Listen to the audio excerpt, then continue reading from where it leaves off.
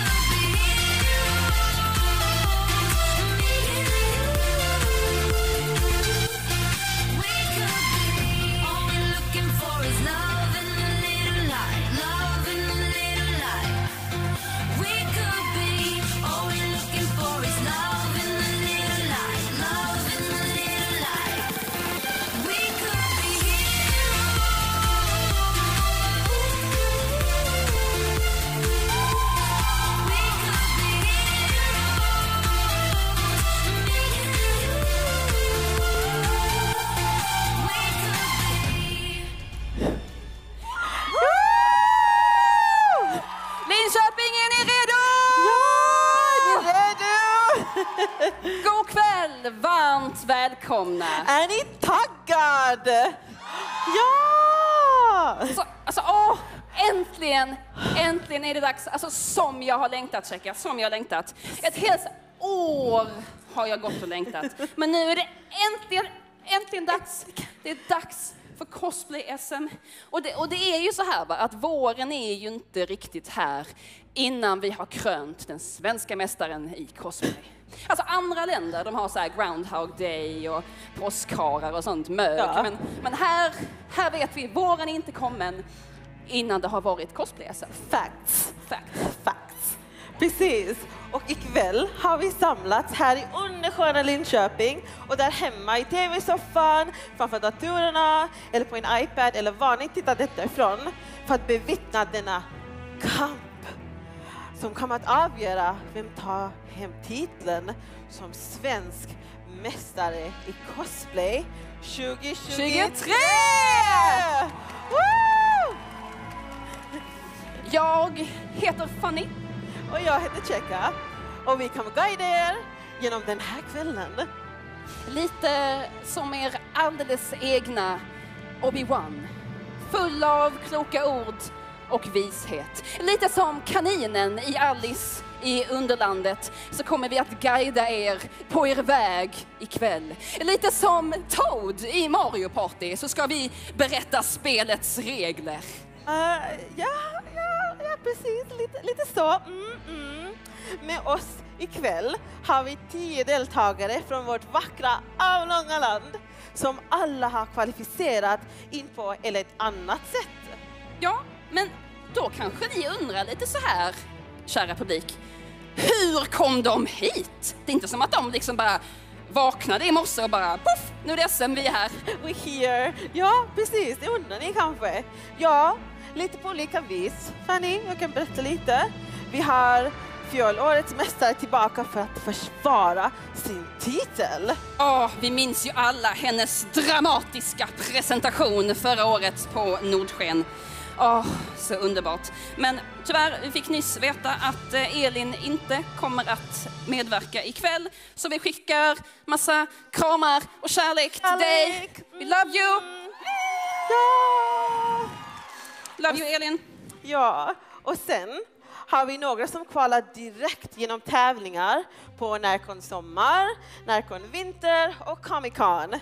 Sen har vi några som kvalat in via Golden Tickets där en jury, en expertpanel, har valt ut de sista fyra deltagarna i årets tävling. Ja, och eh, vi har glädjen att meddela att vi dels kommer att få se några gamla rävar som är sugna på lite, lite mästerskapstitel och är tillbaka här ikväll. Men vad jag tycker är ännu roligare, det är att vi har några som är helt nya i det här sammanhanget. Ja, verkligen! Ja! Ja! Och så har vi ju de allra, allra finaste Who that you mind? Det är ni, publiken, såklart! Åh, ni har välfärd från överallt i landet att närvara här ikväll. Och ni som tittar där hemma på streamen, eh, vi hoppas att ni allihopa känner er hjärtligt välkomna här ikväll. Och att ni är precis lika peppade som vi är! Ah! Men du, jag tror vi kan eh, kanske börja med en liten intro. Ja? Alla har ju inte cosplayat i hundra år som du och jag Fanny. We are old. ja. Ja, Så, och det är säkert många som tittar detta för första gången. Ja men så är det ju, så är det. alla har ju inte varit med förut. Men vi kör en liten sån eh, cosplay-SM 101, Ja. absolutely, let's do it. Mm. Precis. Är det någon här i publiken som ser, för, som ser på SM första gången? Åh, har några, ja! Och vem har sett det innan? Oh wow! We have a winner! Åh, vem är pepp på cosplay? Alla är jättepeppa på cosplay! Applåd! Applåd, applåd! Oh, Okej, okej. Men eh, jag har lite frågor. Alltså vad är svenska mästerskap i cosplay? Vad det är? What Vad det är? it? Ja. Okej, okej, så här är det.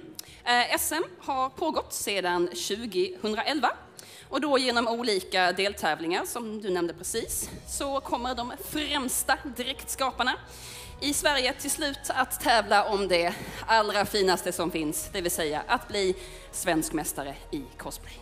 Ja, men eh, hur går en sån här tävling till då? Ja, det är så här att eh, våra deltagare har spenderat otaliga timmar på att researcha och sedan skapa sina dräkter som vi ska få se här ikväll för att de ska kunna visa sina hantverksfärdigheter, eh, alltså hur de har skapat sina dräkter.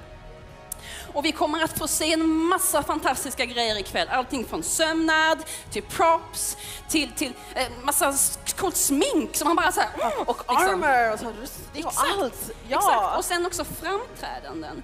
För det är ju faktiskt så att halva poängen är på dräkten och halva poängen är på deras uppträdande. Alltså hur bra de lyckas presentera sin karaktär och berätta en story för oss. Och det, åh, det ska bli så, mm, vad jag längtar. Ding.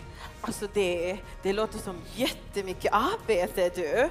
Men vad vinner man då i en sån här tävling? Ja, det är ju ganska mycket som står på spel här ikväll och vi kommer att dela ut pris till tre personer. Eh, förutom äran och eh, general bragging rights, you know what I mean, right. eh, så kommer våran andra och tredje pristagare att kamma hem en golden ticket och då har de chansen att vara med i SM nästa år, alltså 2024. Och dessutom, och det här är så himla coolt checka, alltså bara mm, skitcoolt.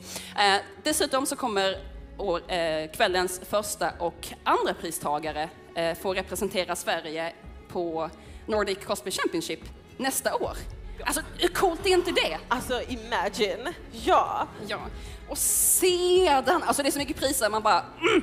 Sedan, eh, kvällens första pristagare får inte bara rätt att kalla sig svensk mästare i cosplay 2023, direkt kvalar till cosplay-SM 2024 och är med i NCC då som sagt. Och så får de sitt namn på den här ususiga vandringspokalen! Ja, det är ju liksom inte fy skam att ha det. Tänk Alltså- som eh, hade haft det. Hold up, hold up. Alltså hen får vara med och tävla igen nästa år. Ja, precis. Så att, så att om, man, om man vinner så får man liksom vara med igen och försvara sin titel. Liksom. Fight Ja. for your honor, lite så. Mm. Ja, amazing. Så vad har vår tävlande sysslat med sen de har kommit till Linköping sin, sen i torsdags? Ja, precis. De har gjort lite olika grejer. De har liksom inte bara släppt på hotellet och bastat, vilket jag vet att vissa av er har gjort. Jag hörde det. See Eh, you. Treat yourself. Men i alla fall, eh, de har varit här, de har repeterat, de har liksom fått känna på scenen, kolla så att ljus och ljud funkar. Och sen eh, började de faktiskt i morse med att bokstavligen talat bli synade i sömmarna av våran eminenta domarskara som ni alldeles snart, alldeles, alldeles snart ska få träffa. Eh, de Domarna har alltså fått träffa deltagarna var för sig, en och en, och se hantverket på, på nära håll. För så här på, på scenen så kan man liksom inte se här liksom, Nej, hur ser det ut, hur ser det ut här bak. sånt. Vi liksom. vet att det finns domare som krälar på golvet Ja, och mm. sånt såklart. Precis. Och då har liksom domarna kunnat fråga så här, ja men den här vassa grejen, hur har du gjort den och lite sånt där. Så att de har liksom all bakgrundsinformation för att kunna liksom göra ett informerat beslut. Ja, Mm. så amazing. Men du, det finns mer de gör, eller hur? Ja. Deltagarna blir också fotograferad av vår officiella SM-fotograf för år, vilket är Alien, Co- Alien Photography!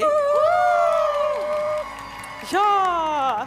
Därför har de haft sitt sista genrep och det, nu sitter våra deltagarna och väntar i green room för att komma upp här på scenen och visa upp dem och det de har jobbat så länge.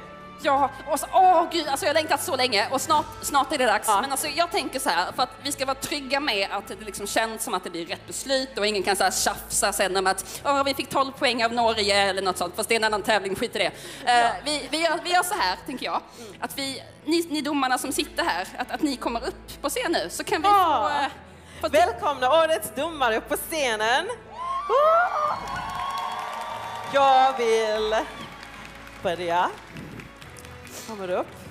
Jag vill börja med att presentera Kizuki som är årets internationella gästdomare från Storbritannien.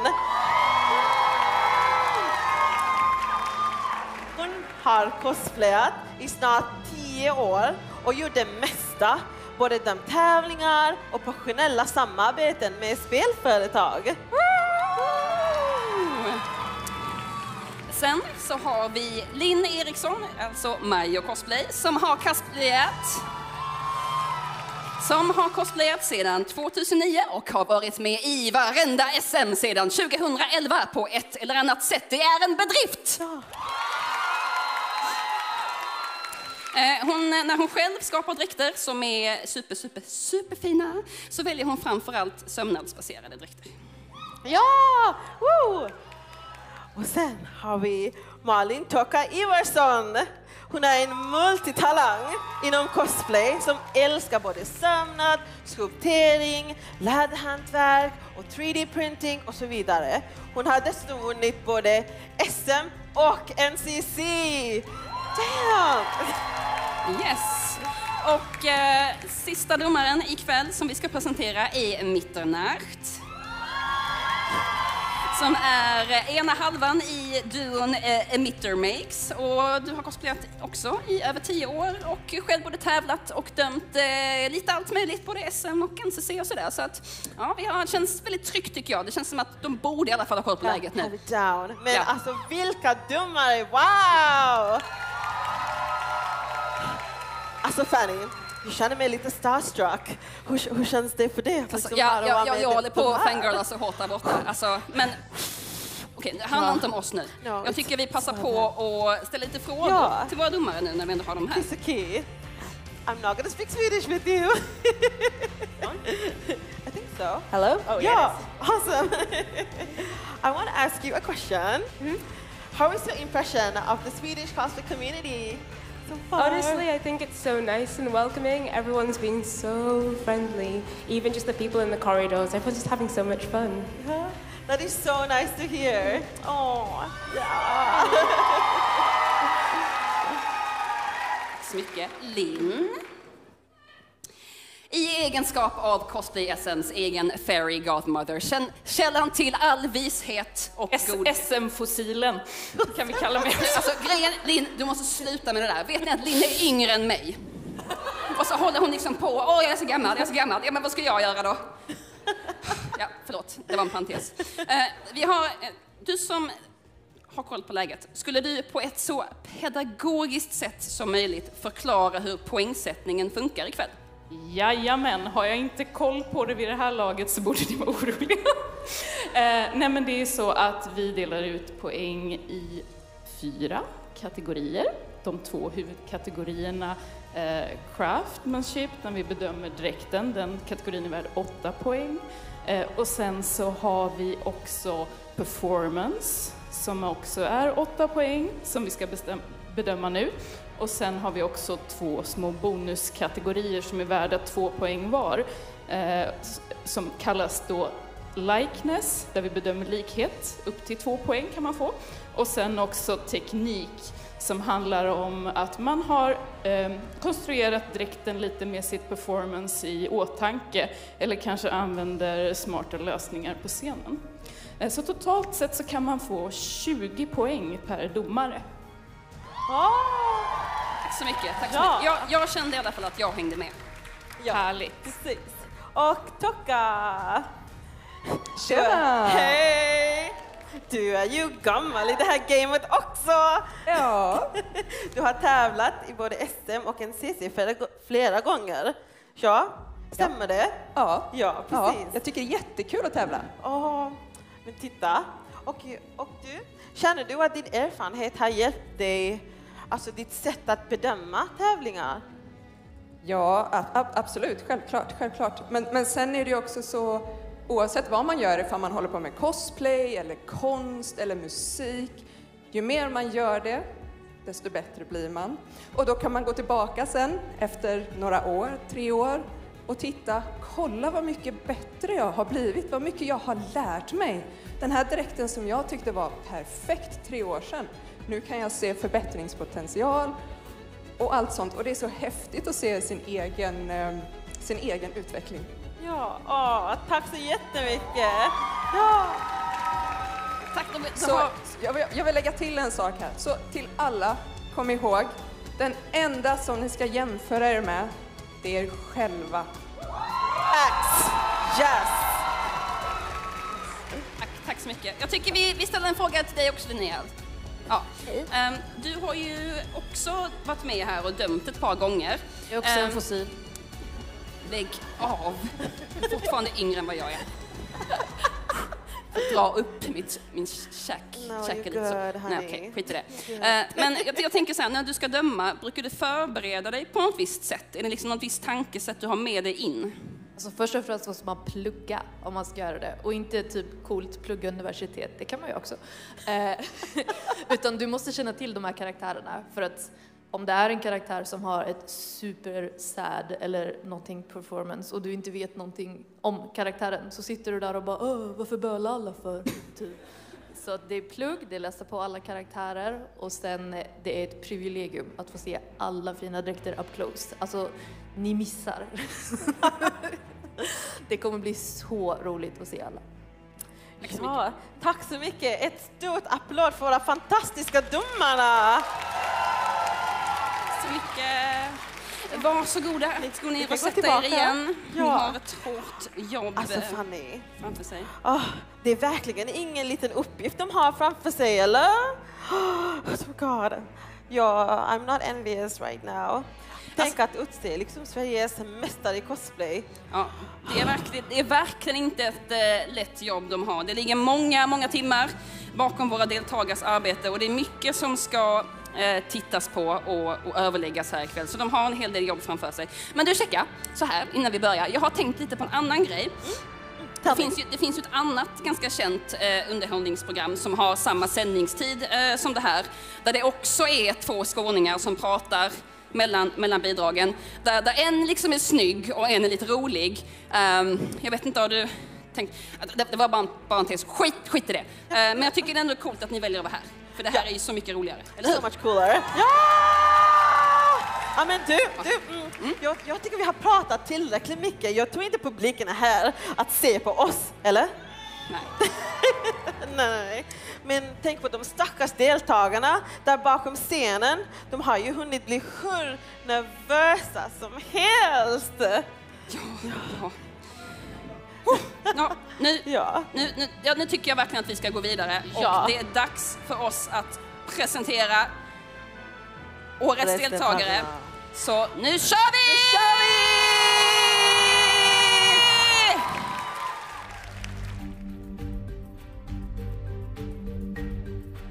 Kvällens första tävlande är även nuvarande svensk mästare i cosplay. Hon har hållit på sedan 2009 och säger att hon cosplayat allt mellan himmel och jord. I år kommer hon att cosplaya en av sina drömkaraktärer.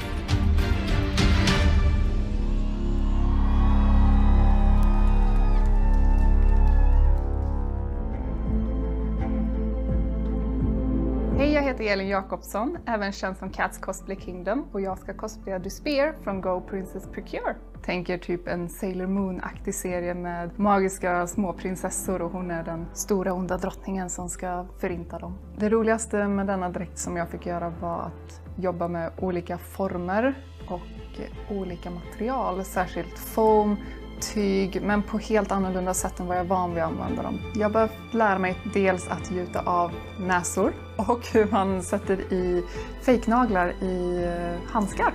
De är gjorda i en gummiläder som riktigt ser väldigt äcklig ut och nästan som latex när jag har det på mig. Och även min korsett som då drar in min midja extra mycket så att jag verkligen får hennes timglassilhuett. Jag fick göra en ovanlig lösning för att lösa mitt höjdproblem. Istället för att göra styltor så kände jag, att nej jag tar ett par skor och sätter massa foam på så jag byggde upp 10 cm med foam och massa spik rätt genom skon för att bli längre. Dusper är ju då huvudondingen i serien och hon samlar på sig folks drömmar. Hon låser iväg dem för att bara låta förtvivlan vara kvar. Det är det hon livnär sig på. Så vi kommer se på scenen när hon för länge sedan blev förvisad och hur hon tar sig därifrån.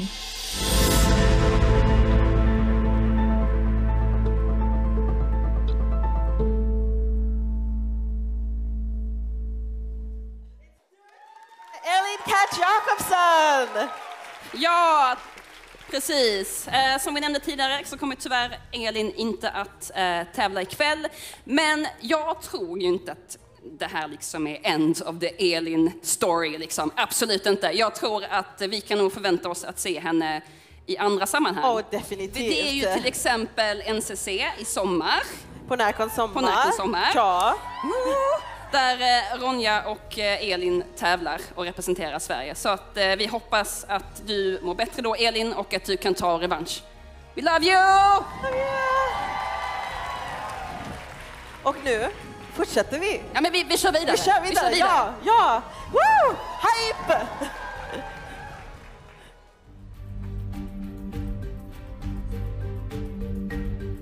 Nästa tävlande tyckte inte att hon kunde sy när hon gjorde sin första dräkt 2014. Men har uppenbarligen klarat sig ganska bra ändå. För henne finns det inget bättre än att stå på scen och känna ruschen av adrenalin susa genom kroppen.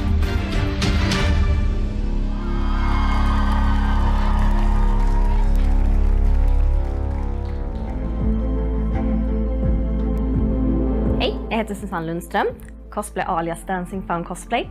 Och jag ska cosplaya Kaedra Kazuha från Genshin Impact. Det som är speciellt med Kazuha är att han är en väldigt lugn, harmonisk karaktär och som alltid ser saker från den ljusa sidan trots att han har lidit igenom extrema förluster genom hela hans uppväxt. Kazuha är en extremt lugn, harmonisk, samlad person som på alla sätt hanterar vilken pressad situation som helst.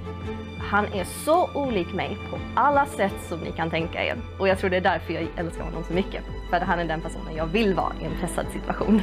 Det jag behövt lära mig som är nytt till denna cosplayen är att jag har studerat japansk sömnadsteknik. För jag ville verkligen utgå från traditionella mönster när jag gjorde dräkten och anpassa dem på en helt ologisk speldesign. Överlag så tycker jag att det är en absolut skitrolig karaktär att bygga och skapa och sy. Hela axelrustningen är gjord i foam och därefter har jag använt gesso för att täcka igen eventuella hålor och liknande som har uppstått i dräkten. Och jag har magneter på baksidan av eh, axeldelen som sen kommer sitta ihop med min, min tygbit på axeln. Eftersom det inte finns några synliga remmar eller liknande som logiskt sett skulle kunna få plats den. Nu när vi kommer ut på scen så kommer ni få se ett av Kazuas eh, tidigare minnen. Och det är framförallt ett minne som har format honom till den karaktär han är idag.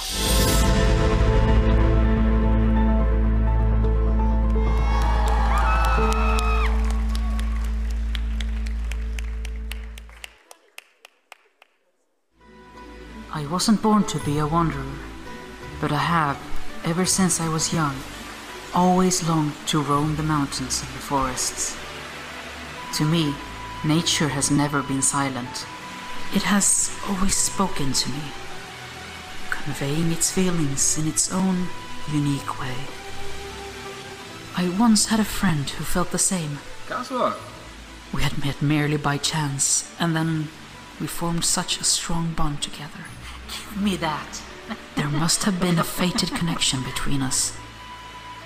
So, although we parted ways, surely we would meet again. Or so I thought. The next time I saw my friend was when I stormed into Tenchikaku like a whirlwind with my sword drawn, only to be met by the picture of my friend's sword, shattered, ah, and the realization that I had been too late. I had snatched my friend's vision from his dying body and fled the scene before anyone had a chance to stop me. My friend's vision burned my hand badly, but I could barely feel it. Oh, the terrible grief in my heart. My friend had dared to call for a duel before the throne, a duel before the riding shogun, the god of Inazuma herself, the god who has started madness, chaos in her own lands, simply to fulfill her own selfish agenda. My friend, he had enough of this madness, and he paid the price for his disobedience with his life. Help me, please. I feel so lost.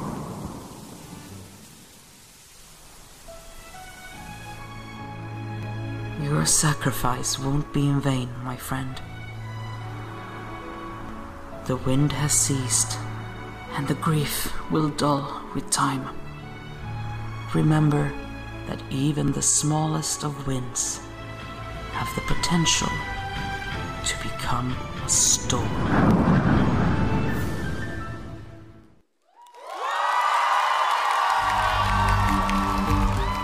Med en bakgrund inom textilhistoriska studier brinner vår nästa tävlande för handbroderi, växtfärgning och traditionella textila tekniker. Han återbukar så mycket material som möjligt, främst ur ett miljöperspektiv, men också för att det är en spännande utmaning.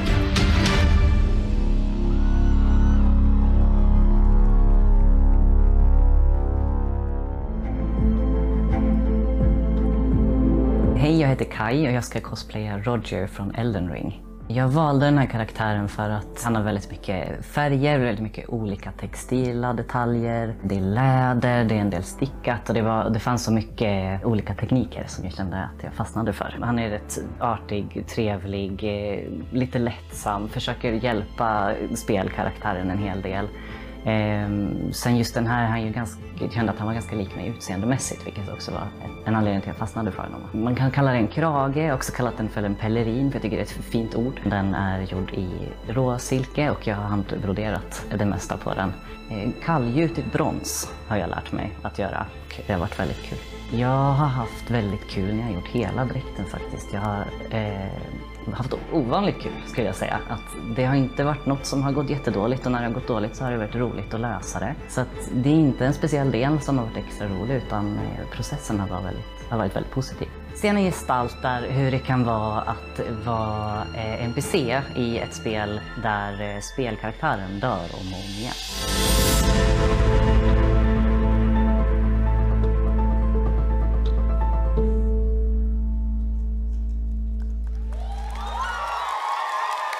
Am I the asshole for pretending to be dead to get away from responsibilities?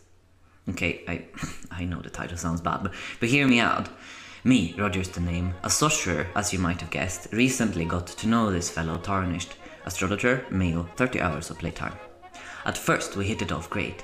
He needed some help fighting some guy, and I gladly did. Sure, it took a few tries in which he died, and we had to start over several times, but finally, together we managed. Next time we met in the middle of me doing some research at the castle. Lots of enemies there, not a place I would go without a purpose in mind, really, but, but okay. I'm actually privy to a few magical battle arts, and as a fellow tarnished, it felt polite to offer to teach some. However, as we were in the middle of conversation, a guard showed up, and this tarnished stood no chance. These things happen, I thought, and was about to go on my way when he showed up again. And died again. And again. And again. And, and again. One of the times he literally died from falling over a chair. This properly messed with my research, but I didn't say anything about it. But as this kept happening, it actually really started to bother me, and I needed a way to subtly get out of this situation. I pretended to be sick. When he showed up at the round table halt, my usual hangout spot, I started dropping hints. I gave him my old sword, explaining that my fighting days were behind me, and encouraged him to become more independent this way. This didn't really do anything, unfortunately. At this point, I had kind of had enough, to be honest, and I decided to take it one step further. So one day when the tarnished arrived, I explained that I felt on the precipice of falling into a deep, fathomless slumber, and I really leaned into it, telling him he needed to find his own adventure, all of that. He appeared a bit upset, but he left shortly after. The next time he came to ask something of me, I had left only this letter, sending him on a hopefully long and complicated quest, and heavily implying I had passed away. He seemed properly sad, and this is where I think I might be the asshole. Anyway, I was telling some friends at the round table about this, and a few of them thought it was a mean prank to let someone go away thinking I had died instead of facing my issues. So, Nagon Winter, am I the asshole for pretending to be dead?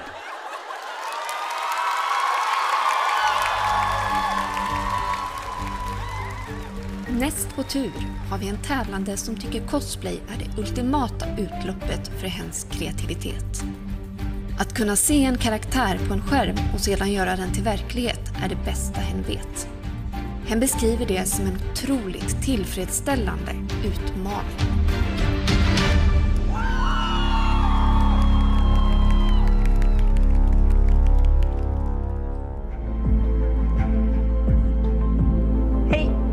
Heter Finley och eh, ska cosplaya Regis från Witcher 3, Blood and Wine. Det som är speciellt med Regis är nog att han är en higher vampire. Och i Witcher-världen så är det en av de mest farliga varelserna du kan stöta på. Träffar du en sån så överlever du inte. Men träffar du Regis däremot så gör du det. Han är väldigt omtänksam, han gillar människor, han, han dricker inte blod, så att det är nog det som gör han speciell. Ett material som jag har använt i den här dräkten, som är lite av det ovanliga slaget, heter PVC Sintra. Jag har använt det för eh, Regis eh, kedja som sitter på framsidan av dräkten. Och eh, jag har även använt magneter som jag sytt in i hans gambeson så att jag kan lätt ta av kedjan. Regis väska har många detaljer. Den är helt gjord för hand, handsydd. Jag har färgat lädret och min favoritdetalj är nog den lilla vitlöken som sitter på framsidan av väskan. Även blodtuberna och eh, den här lilla örtknippet som sitter fast där. Själva remmen på väskan har jag gjort helt för hand. Jag har suttit med en liten stämpel och stämplat in varenda avtryck i den och det tog väldigt, väldigt många timmar. I mitt framträdande så kommer ni få träffa Regis mitt ute i en skog. Han kommer vilja dela med sig av sin hemmabryggda mandragoradryck och eh, även berätta lite om eh, hur det var att vara en ung, rebellisk, partajande vampyr i sin ungdom.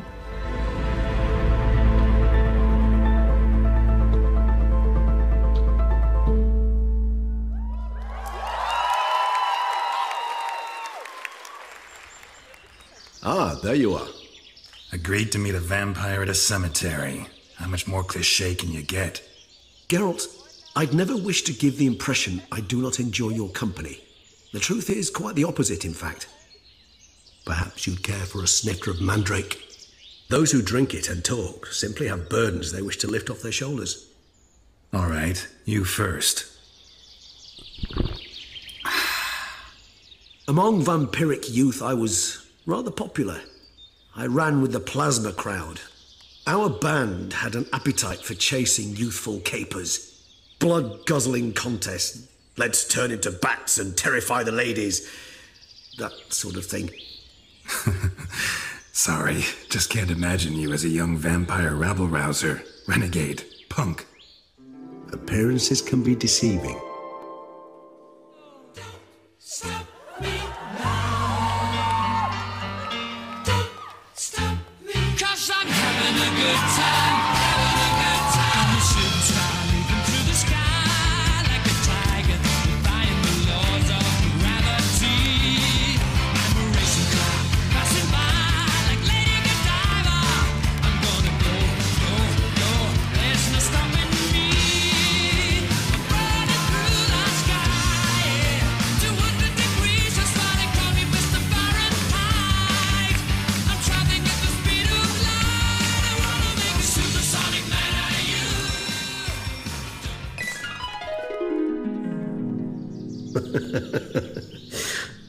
You know of our exceedingly long lifespans. They allow us plenty of time to change. I, for one, thank the gods for that.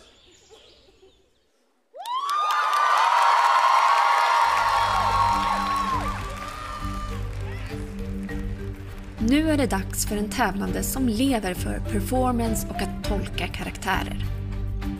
Med varje cosplay vill han pusha sitt skapande och göra något nytt. Han ser fram emot att visa upp sin egen stil och unika röst i årets cosplay-SM.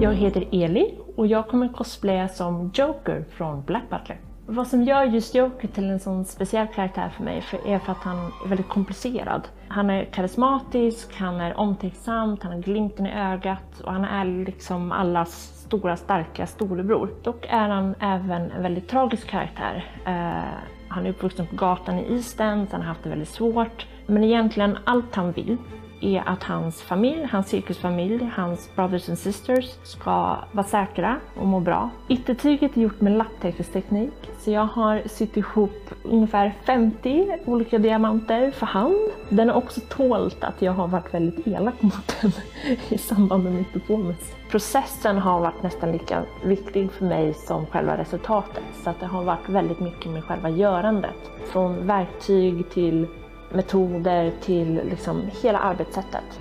Till skjortan har jag gjort flera typer av liksom ruffles och det var väldigt kul. Jag hittade en bok från 1903 så att jag använde den för att lära mig hur man gör allting ordentligt.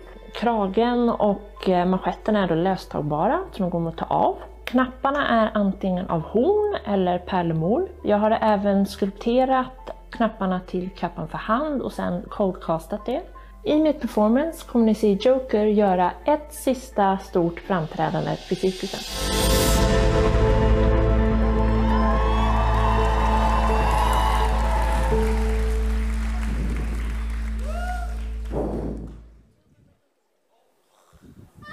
Ladies and gentlemen, boys and girls of all ages, prepare to be amazed because tonight will be truly magical.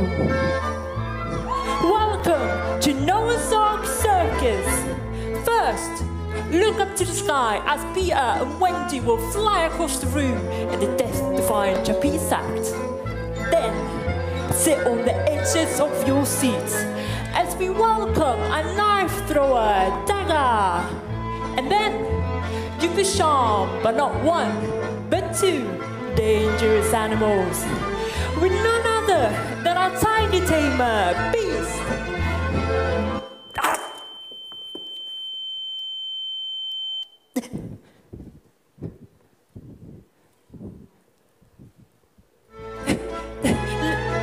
La- last, last, but not least, we have a new member making his very first appearance for you tonight. Please welcome the supernatural, inhuman, black. What have I done?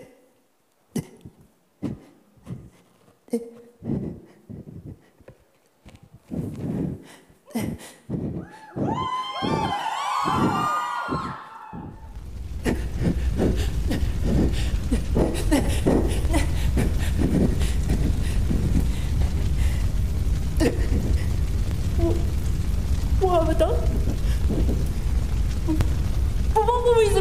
do?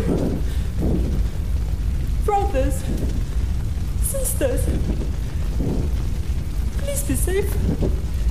Even if I.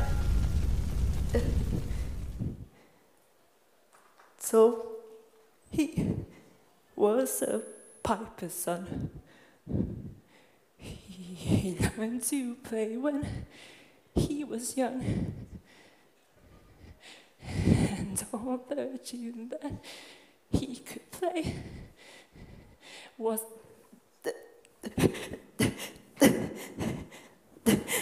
Nästa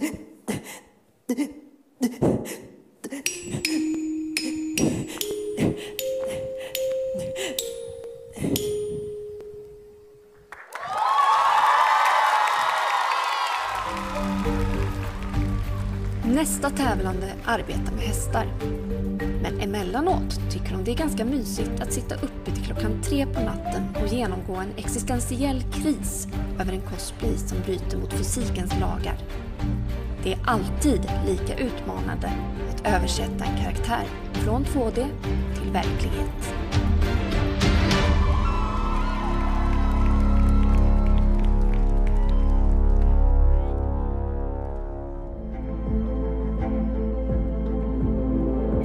Heter Moa Jagenheim och jag kommer att cosplaya Tartaglia från spelet Genshin Impact. Jag fastnade direkt för Tartaglias personlighet när jag träffade honom i spelet. Han är en väldigt rolig karaktär som gärna eh, utmanar varenda person han träffar på en fight, vilket kanske inte alltid är så populärt bland de man träffar. Tartaglia är väldigt lik mig då vi båda söker ständigt nya utmaningar och eh, lever lite för den här kicken när man klarar av någonting nytt. Den del av dräkten som jag är mest stolt över är alla knappar. Inte för att det kanske är de bästa delarna, men det är en ny teknik för mig att använda resin och jag har gjort det genom att göra masterformerna ur lera och sen gjutit av dem i silikon. Skorna som jag har till dräkten är gjorda helt från grunden, inklusive yttersulorna som är gjorda av en gummiskiva som jag har klippt ut och sen så staplat för att få till klacken. De är även förstärkta i både hälen och i tårna för att den ska hålla formen. Det roligaste med dräkten var all colorblocking som jag behövde göra. Då jag dels har använt eh, tyger för att colorblocka men även vinyl som är min favoritteknik att använda. Ni kommer nu att välkomnas in i organisationen Fatui. Så räta på ryggarna, håll era vapen redo för man vet aldrig vilka prövningar som väntar.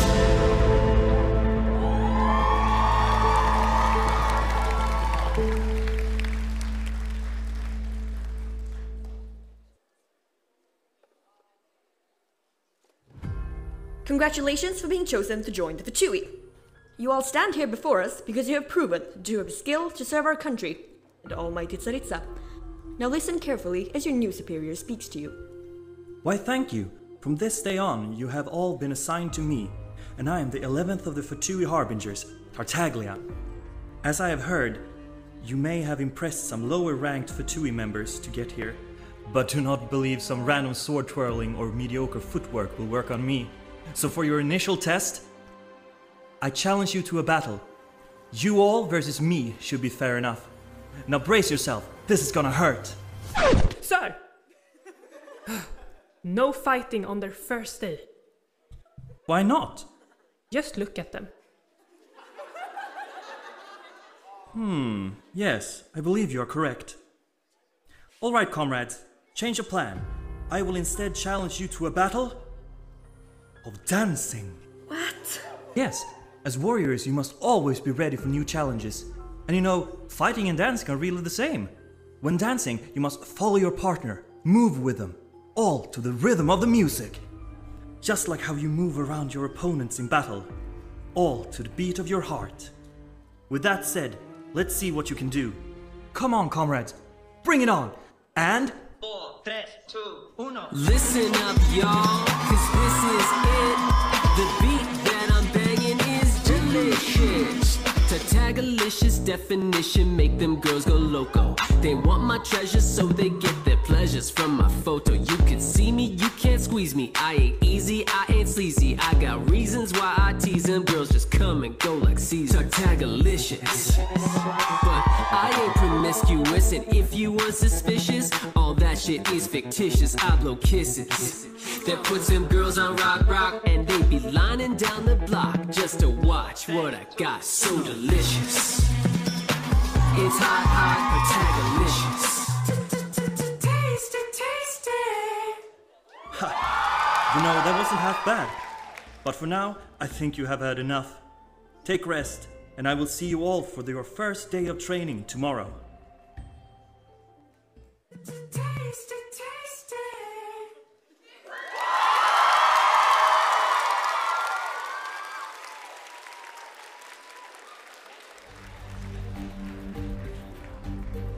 Denna tävlande har hållit på med cosplay sedan 2010 och varit med i en hel del tävlingar.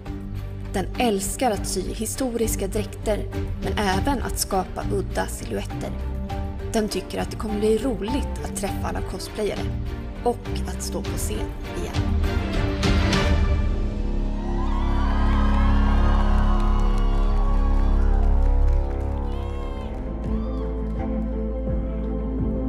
Hej, mitt namn är Emilia Sterner, men jag kallas för Happy Cosplay. Och jag kommer cosplaya Dandelion från The Witcher 3 Wild Hunt. Hans personlighet kan man ju inte sluta liksom, tycka är rolig men ändå intressant samtidigt. Så att, eh, det var mer att jag valde honom för att han är rätt flashig och vem kan inte motstå Dandelion?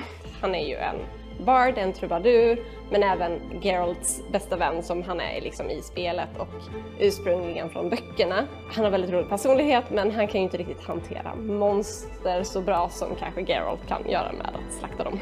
Jag är nog stoltast över Dublén. Den är ju historiskt baserad så jag har gjort mönster från grunden och fått anpassa till min storlek. Det är 100% siden i det lila tyget, de båda två olika lila tygerna. Och sen även lite fusksammet och även duchess. Det som har varit nytt för mig skulle jag väl säga mer är liksom utveckla min cold casting. Med liksom hålla på med olika typer av resin och testa nya resin som är lite snabbare och inte tar så lång tid. Men även liksom lära mig hantera andra material, liksom att liksom försöka tillverka smycken som man kanske inte är så van vid. Ni kommer få träffa Dandelion en gång till. Ni kanske tänker att det är samma sak igen, fast är det det? Är det något nytt fuffels hans vän har hittat på? Eller inte?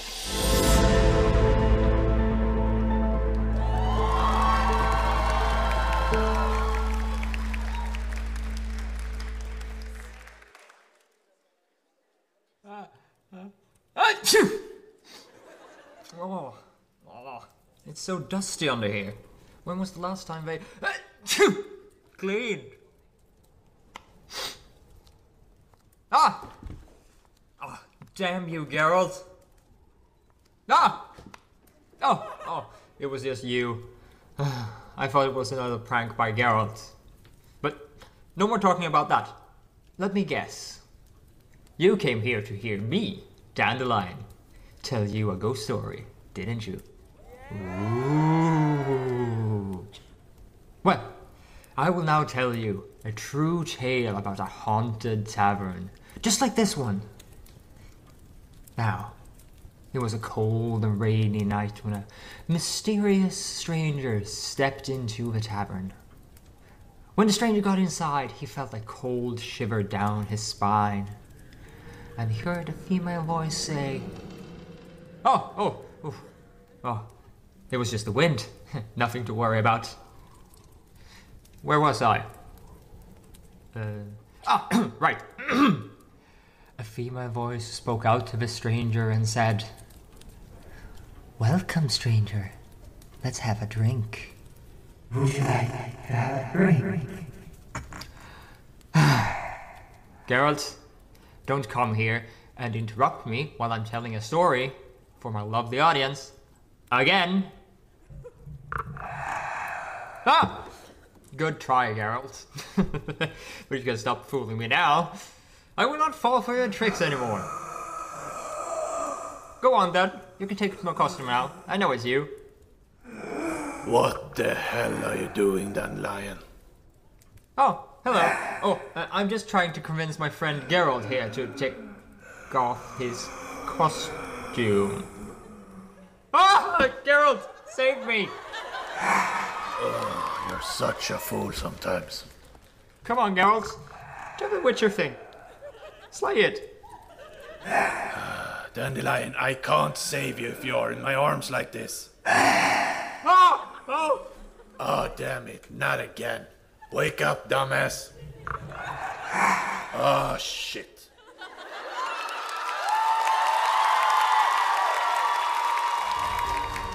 Näst på tur har vi en tävlande som hunnit med mycket under sina tio år inom cosplay. Hon har bland annat jobbat som perukmakare, fotograferat dräkter runt om i världen och vunnit World Cosplay Summit. Under Cosplay-SM har hon assisterat andra cosplayare hela fyra gånger och medverkat i en av mellanakterna. Nu tycker hon att det är på tiden att pröva hur det är att tävla.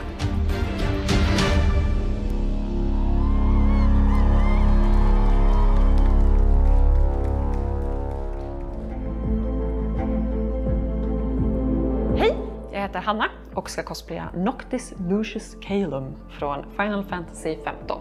Jag drar mig mycket till karaktärer som är lite mer edgy och emo och svåra. Um, och det är han, men han har en goofy sida, han är lite fånig och han blir väldigt varm när han eh, närmar sig personer han gillar. Jag började egentligen på dräkten 2016 och sen fick jag sluta, det var lite för svårt. Men sen satte jag igång med dräkten igen förra året och det var väldigt kul att kunna se hur mycket bättre jag hade blivit genom åren och att den fortfarande passar. Tack och lov. Jag skulle nog säga att jag är mest stolt över min handske. Det har varit väldigt många steg i att göra den så som den ska vara. Det är mycket olika tyger, mycket olika bitar i en liten handske. Jag har behövt lära mig väldigt mycket nya saker för dräkten. Ehm, bland annat så fick jag göra mina egna knappar, eh, vilket jag inte hade gjort förut. Så att jag fick eh, skulptera och så fick jag coldcasta dem så de får den här metallfinishen. Och ehm, ja, mest massor. Kungen har nyss fått offra sitt liv för sin son Noctis, vilket lämnar Noctis som den nya kungen. Han kommer nu behöva ta sig an det magiska svärdet, sina magiska krafter, men också rollen som kung. Frågan är bara om han är redo för det.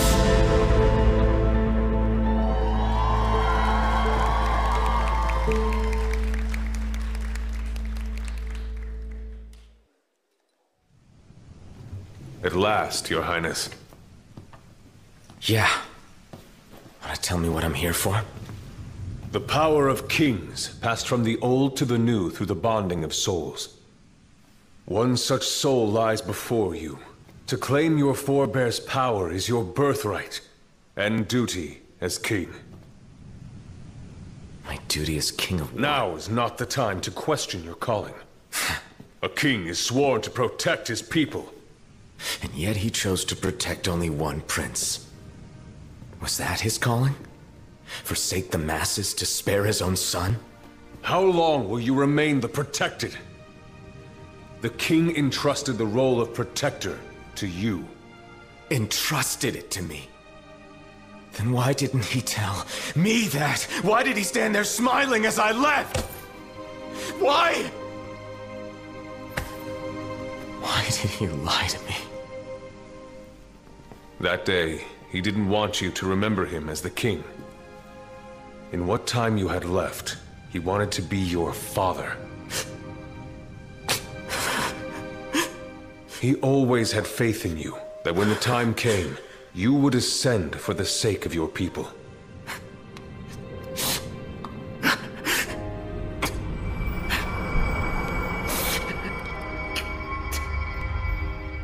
Listen well. A king pushes onward always, accepting the consequences and never looking back. A king can accept nothing without first accepting himself. A king cannot lead by standing still, my son.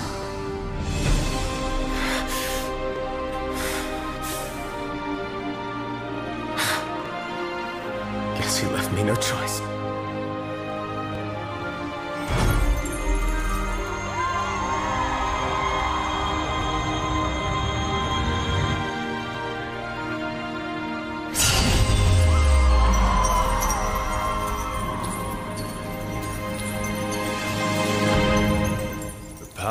Kings goes with you, your majesty.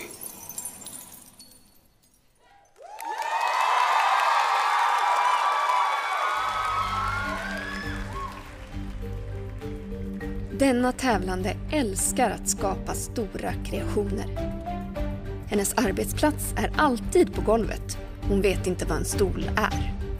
Hon slåss ständigt med att synålarna försvinner och drömmer om en egen ateljé för massiva klänningar.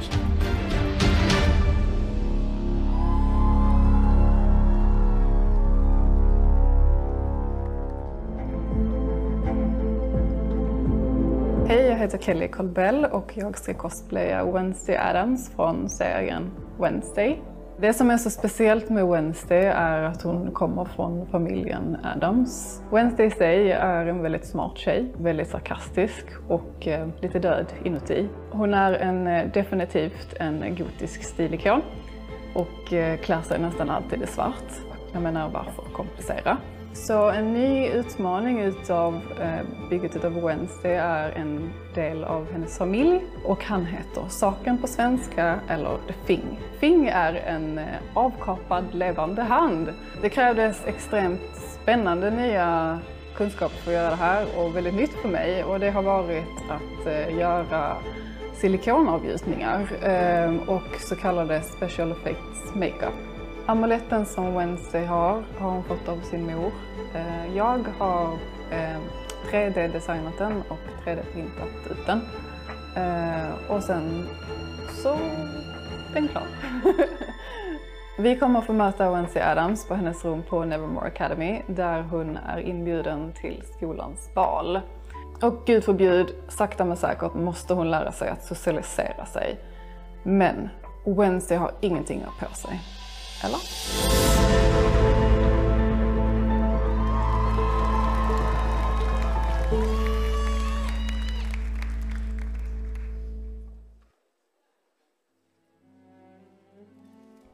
Evermore continues to be a mystery. There's something wrong with this place. Not just because it's a school. What do you mean I'm too negative, Thing? I know I'm a single minded and obsessive, but those are traits of great writers and serial killers. An invitation to the school ball. I don't have time for that hellscape. Oh well, what is a school ball anyway? After all, I supposed it would be frightfully dull and boring and completely, completely dreadful. Don't be ridiculous thing, and for the matter, I don't have anything to wear. How did you pay for it? Five finger discount, of course.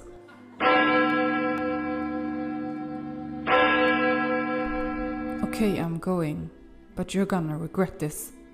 Mark my words. Hold out on the dance floor one last time for the Ravens. It says never more. Now, here comes the music.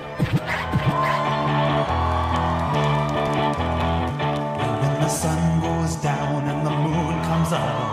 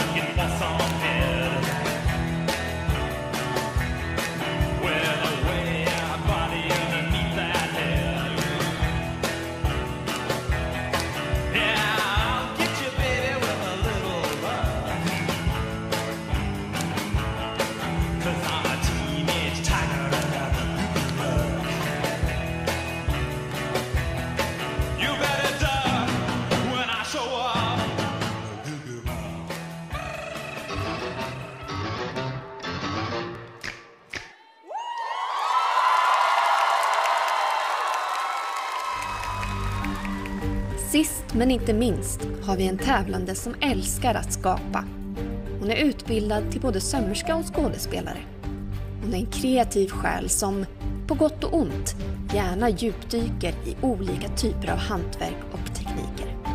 Allt för att få fram rätt form och uttryck.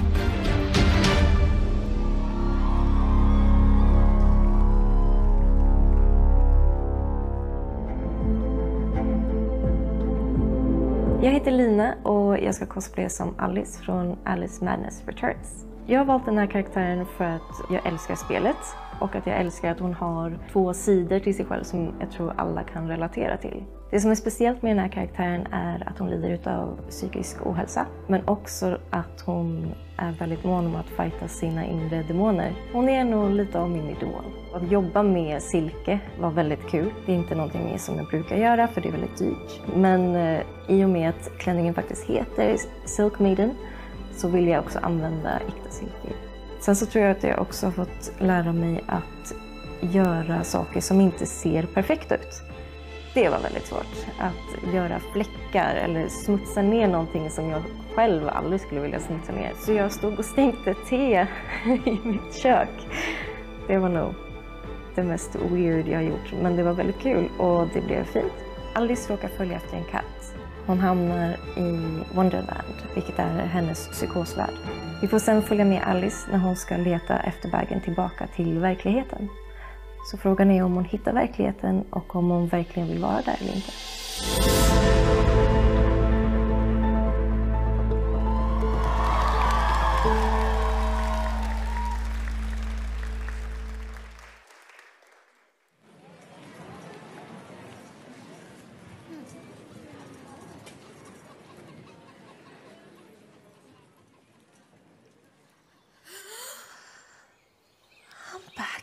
Wonderland.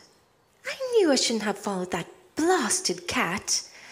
I need to find my way back to reality again. Uh, oh, a keyhole. How convenient.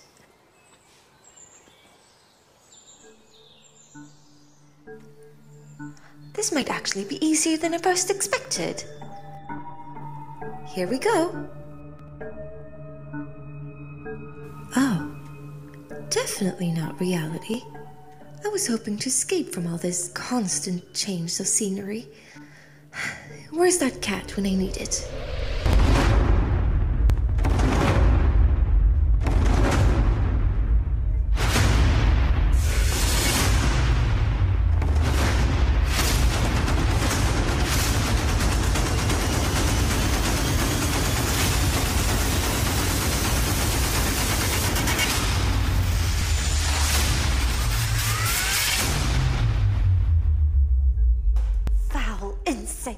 I'm gonna murder that bloody cat. Cat! Cat! You useless creature! Show yourself! Now! Alice. You! Wonderland is corrupted. It's not safe. It used to be, but it's clearly not anymore. Corruption, disasters, and horrendous creatures. My mind is in ruins. I need to leave. Hmm. I do suggest you stay. You Idiot. But if you really want to leave, the door is open. I'm back in reality. No.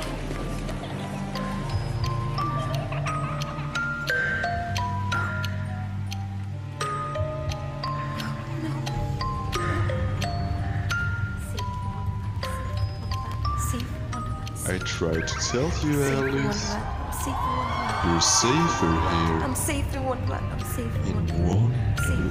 I'm safe in Wonderland. I'm safe. Wow!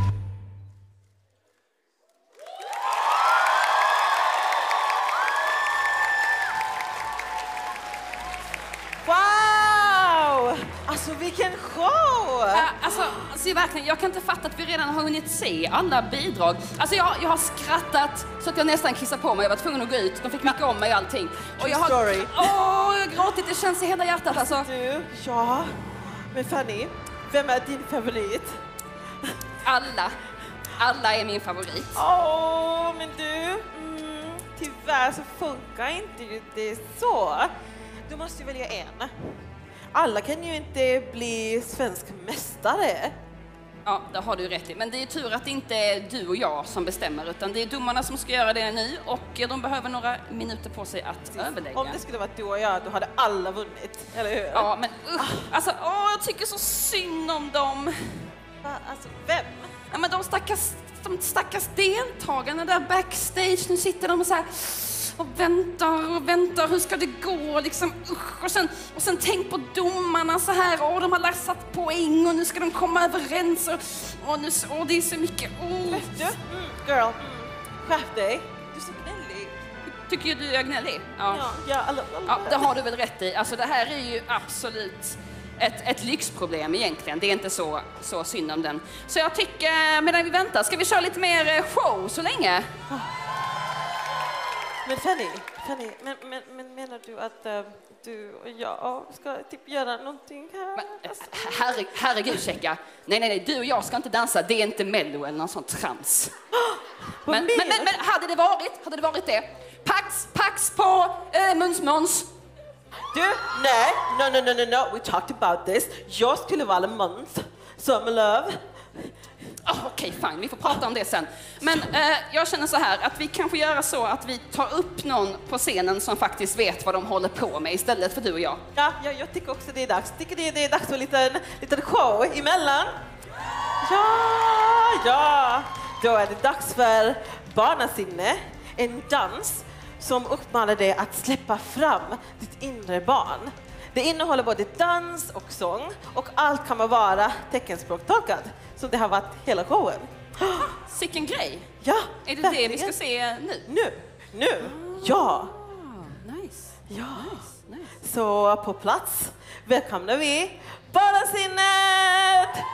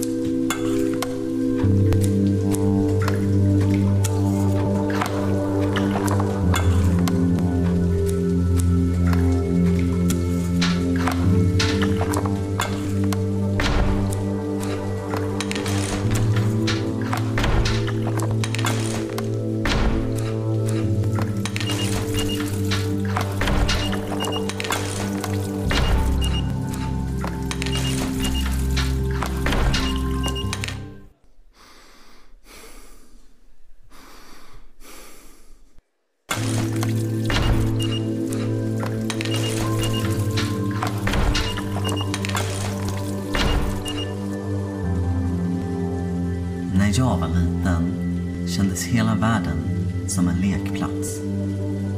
När det regnade blev dagen inte tung. Istället sprang vi ut och hoppade glatt i pölarna. Jag längtar tillbaka till den tiden då vi lekte och all sorg kunde lösas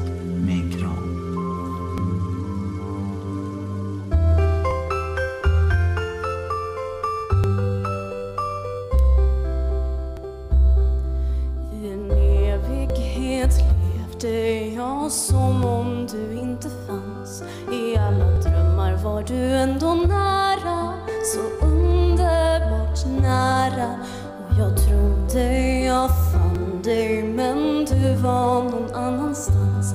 Varenda gång jag funnit någon så såg jag Att drömmen inte var sann.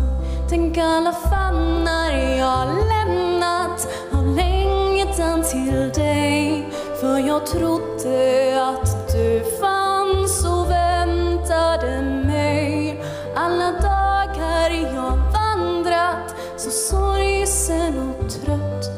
För att möta den vackraste människa jag någonsin mött.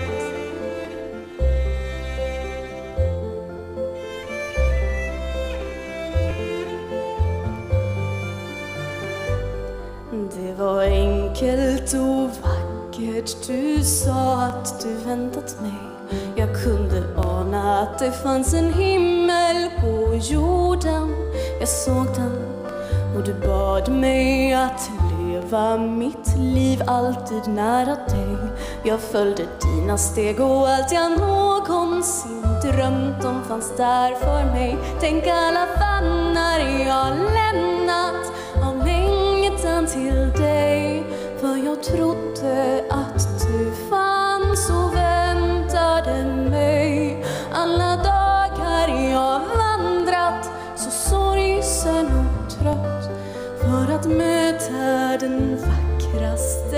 Människa jag någonsin mött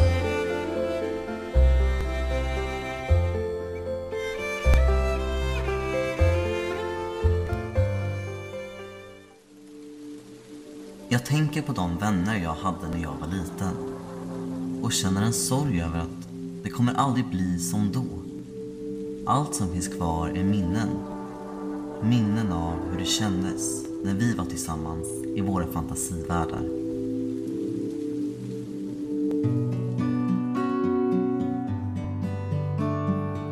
Hur du vänder dig och hur du svänger dig Så laga att du har en trogen vän.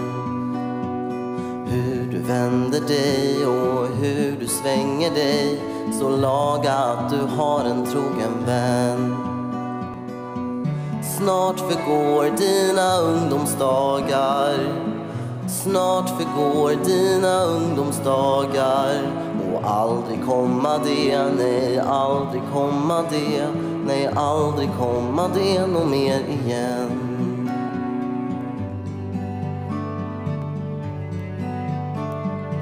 Vem du än må vara och vad du än må göra så laga att du har en trogen vän. När du är full och ser tillbaka. När du är forn och ser tillbaka. Inte kan du då, nej, inte kan du då nej, inte kan du då ändra det du ser.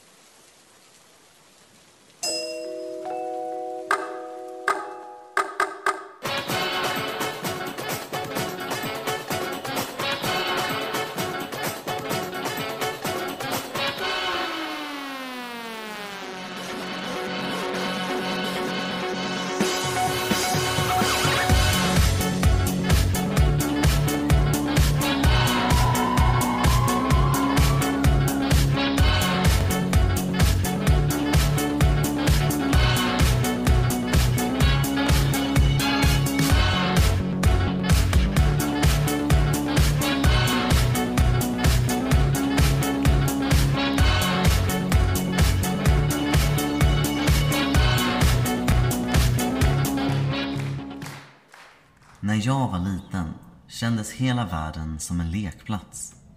När det regnade blev dagen inte tung. Istället sprang vi ut och hoppade glatt i pölarna.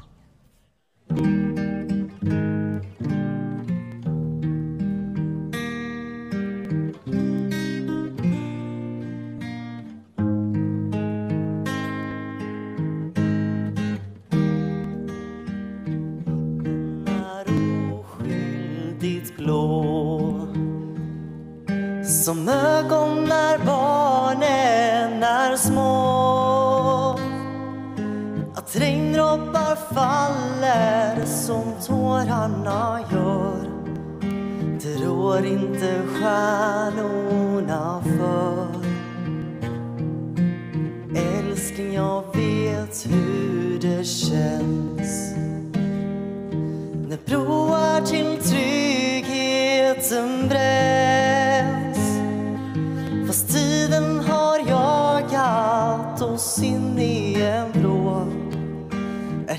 himlen så oskyldigt blå. När vi växte upp lekte livet vi var evighetens hopp det var helt självklart att vår framtid skulle bli oförbrukat fri. Somrar svepte fram,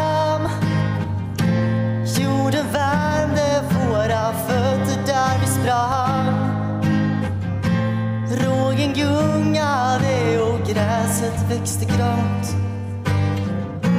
Hela livet var så skönt.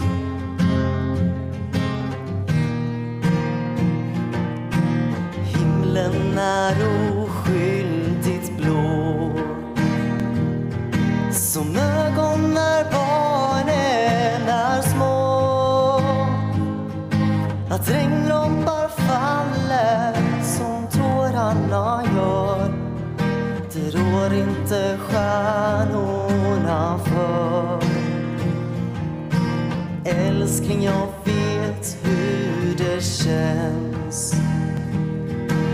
broar till tryggheten bränns.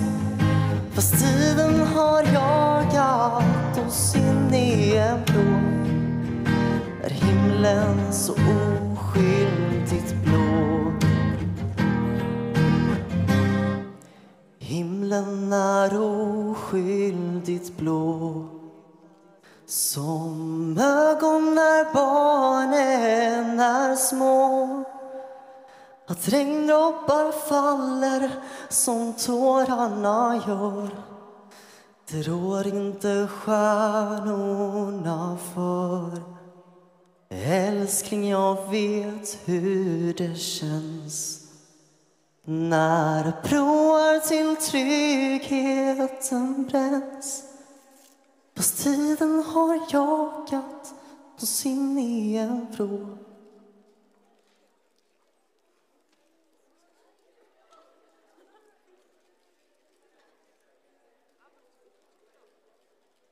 Tack så mycket!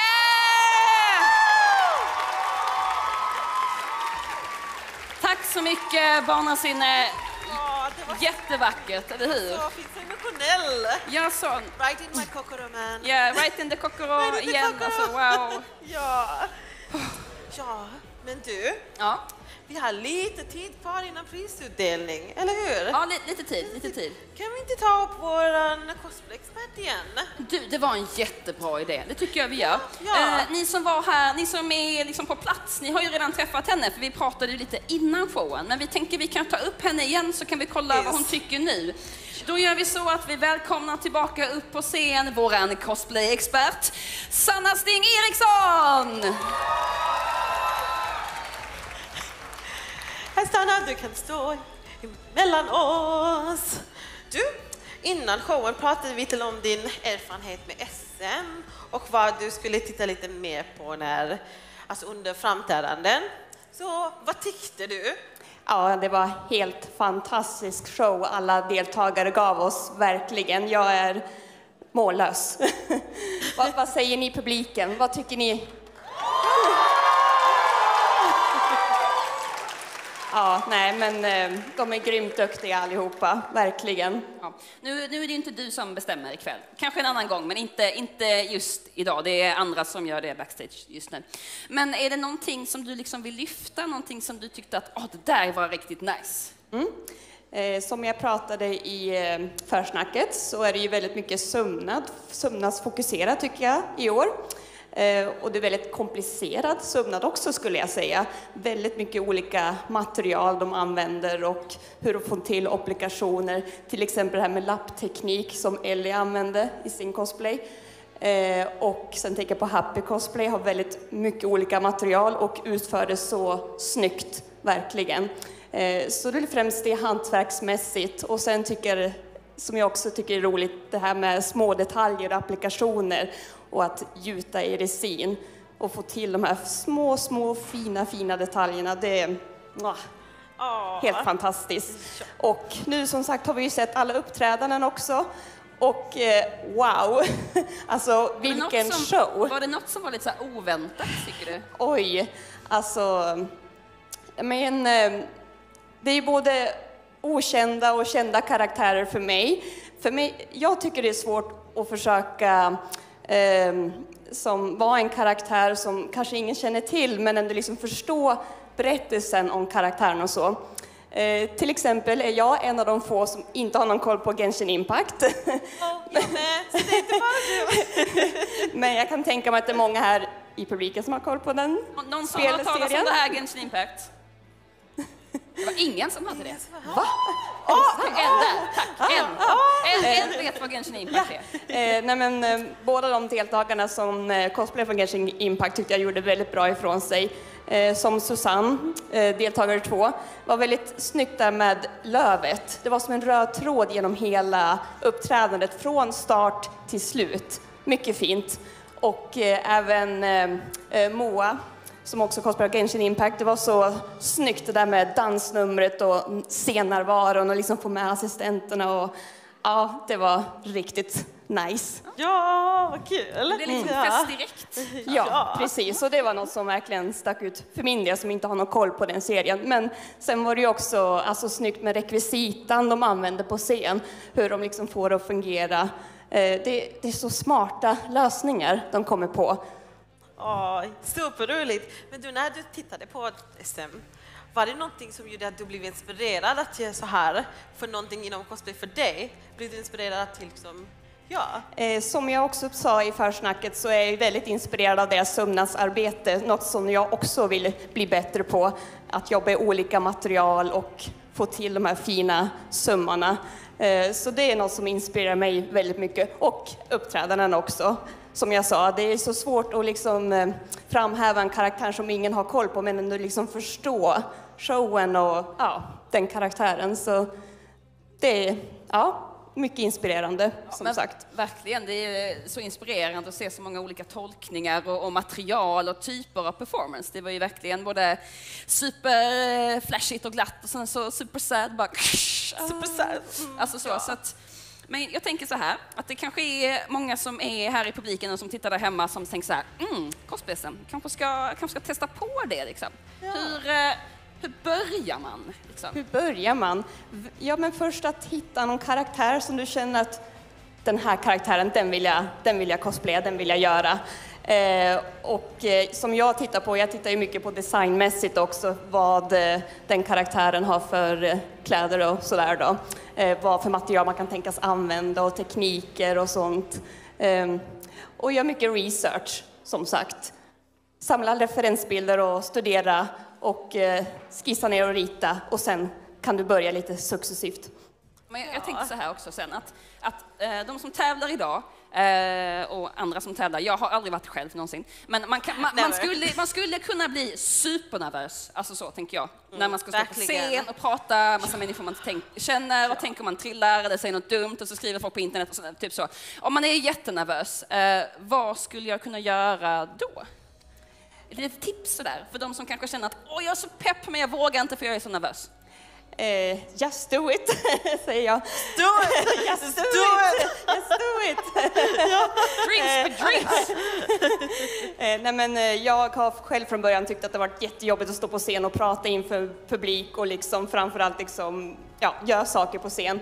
Eh, men med tiden nu när jag cosplayar ganska länge så blir man som mindre och mindre nervös för varje tävling man är med i. Så att eh, så jag vet inte, det är som bara att slänga sig in i det och bara, bara gör det, bara kör. Tack, ja, do it. för är det någon karaktär ni Ja. vill göra, just do it. Just do Just it! do it! Yes! Tack så mycket Sanna! Tack så mycket! Tack så mycket! Ja, men, men du, alltså, nu har vi pratat jättemycket om SM känner jag. Och det är ju sjukt ballt. Ja. Men det finns någonting som nästan är lite ballare. The next step. Next step. The next yes. step. Och det är ju NCC, Ja. Nordic Cosplay Championship, i sommar på När Närcon Sommar. Ja. Så- Missa inte det. Ja. Så jag tänker så här Checka, vi, vi, eh, ni som sitter där i teknikgänget, kan inte ni rulla en eh, sån där pepp-video om Ja, NCC, så alla bara blir Ja. taggar till liksom? Ja. Let's go! Let's go!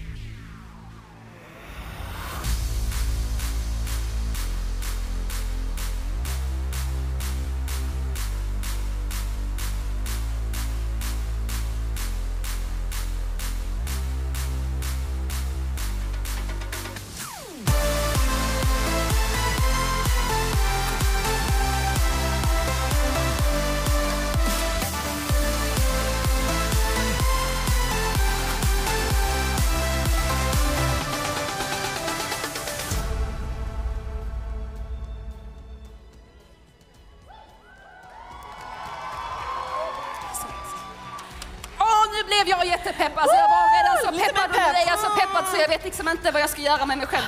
Oh Jag får åka på sån där retreat sen. Spa.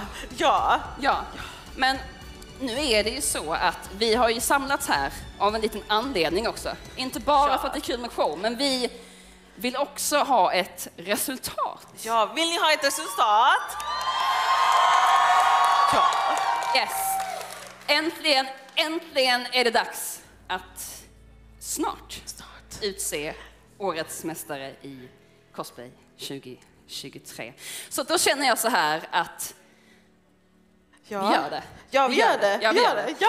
Nu är det dags att återigen äntligen ge en varm och stor och välkomna applåd för årets deltagare. Upp på scen!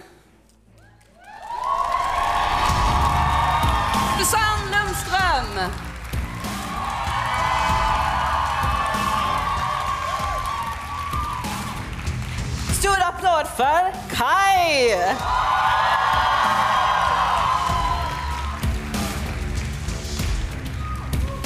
Finley Lundin! Näst har vi Ellie Eidbom.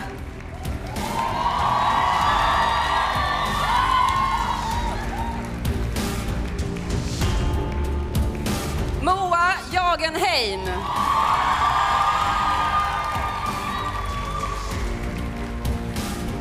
Happy Cosplay!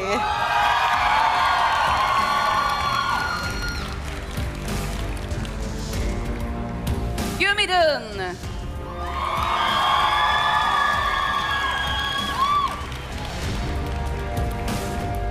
Och på scen Kelly Colbell Hale.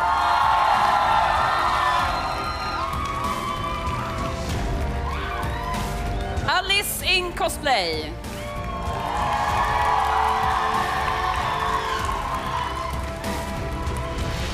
Du, jag tycker vi ska även välkomna upp våra fantastiska domare på scen. Ja, det vill vi. Ja, ni ska ge priser upp på scen.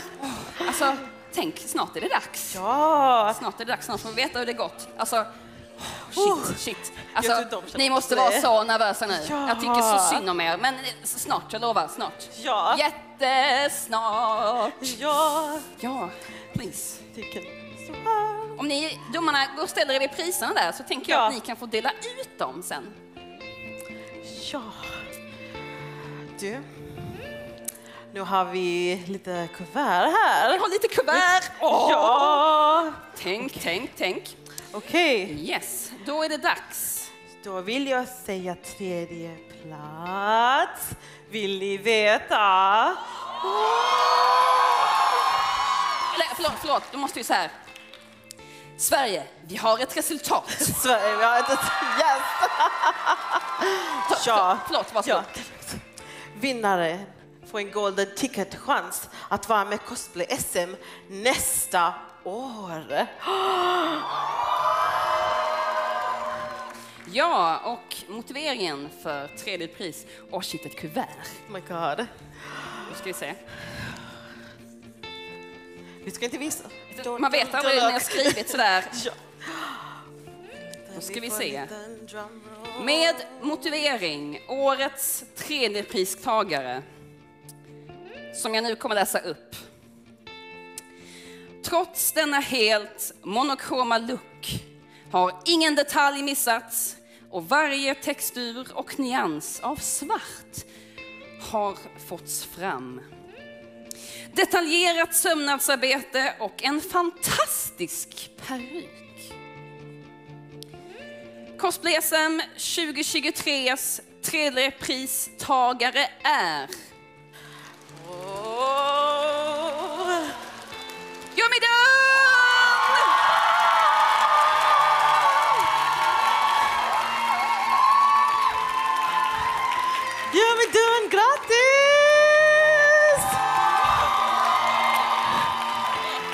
Jag har lite frågor till dig.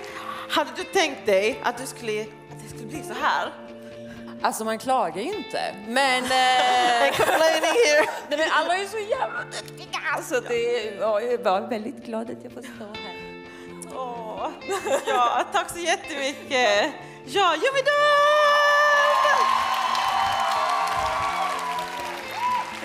Ja, då är det dags att gå vidare till eh, dagens andra pristagare.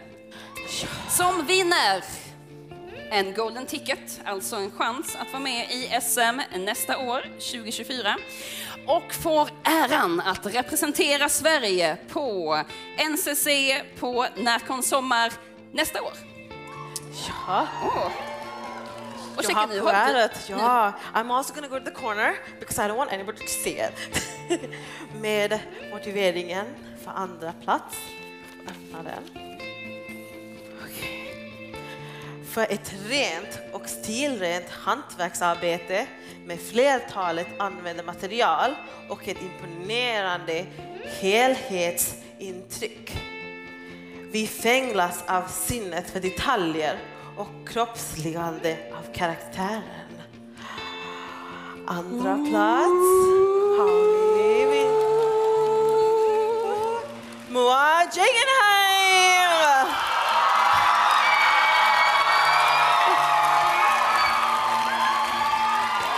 Stort grattis! Nej, nej. Nu. Ja.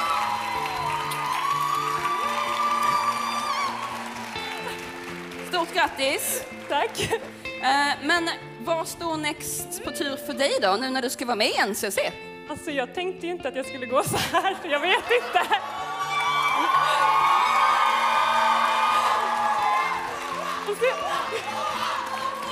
Men, men det är ju tur, för du har ju lite tid att, att liksom fundera på det, så kan vi komma tillbaka till den frågan sen. Ja, det blir jättebra. Stort grattis! Stort applåd för Moa! Och eh, nu, nu, Nu. Uh, nu! Är, är det, checka! Är det dags? Det är dags! Det är dags! Hörni, det är dags! Nu är det dags! Oh my god. Det är dags! Ja, första priset, första plats, vinner inte bara äran att bli svensk mästare i cosplay, men direkt kvalar till SM 2024 och representerar Sverige på NCC på Närkon Sommar i år. Nästa sommar. Eller förlåt, 2024, precis. Och får sitt namn på denna ljuvliga vandringspokalen. Du har kuvertet. Där. In the back. Tänk. Alla är så spända. Shit, ja okej. Personen som tar hem första plats i årets tävling och blir vår nästa mästare i cosplay med motiveringen Ah, nu ska vi se, då var det på eh, engelska. Nu ska vi se, men det går nog bra. Ja, ja. Such a stylish chap with a incredible... Jag det på brittiska för jag funkar inte på amerikanska. Vi kör brittiska. Som jag inte kan, men vi, vi go with it. Such a stylish chap with incredible sense for fabric choice, construction, painted fabric. Very well sewn with a good eye for proportions. With such a finish, you would be sure you, you would for sure be well greeted while traveling the roads or getting the party started at the local inn. Mm. Ja. Vet vem som vinner? Och det kommer jag att säga nu. Årets mästare i cosplay 2023 är ingen mindre än Happy Cosplay!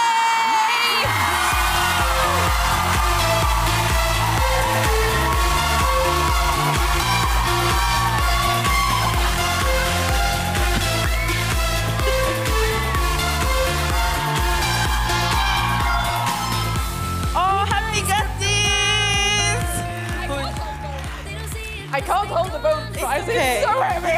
I got you. no, no, I can't take both at the same time. No, no. So how are you gonna celebrate? Um, take off the beard. That's a good plan. Anything Yeah. else you wanna do? Uh, have a good night's sleep. yeah, I bet. Grattis! Stort grattis! Ja, men kan vi inte göra så att ni, ni, ni tvåan, trean, kan ni ställa er här och, och, så vi kan få lite bilder och sånt? Det är väldigt viktigt att alla får ta bild. Ta bild nu, kom igen, ta bild. Alltså, men, men, men, men checka. Men, men, men, men nej, är cosplayen redan slut? Men du, do not worry. Det finns en till nästa år! Det har du ju rätt i! Ja! Cosplayen nästa år igen och innan dess är det ju NCC på Närkon Sommar och det kommer bli så spännande. Oh my god, då är det Elin och det är Ronja och det kommer bli så Ja, grymt! ja. Ett stort tack för ni, för er, domarna, alla. Jätte, jättestort tack! Tack Checka, jag tycker du var jätteduktig Oh ikväll. my god. You're right. Det var jätteamazing. Det Ja, så så missa inte Närkon Sommar och NCC. Vi ses då!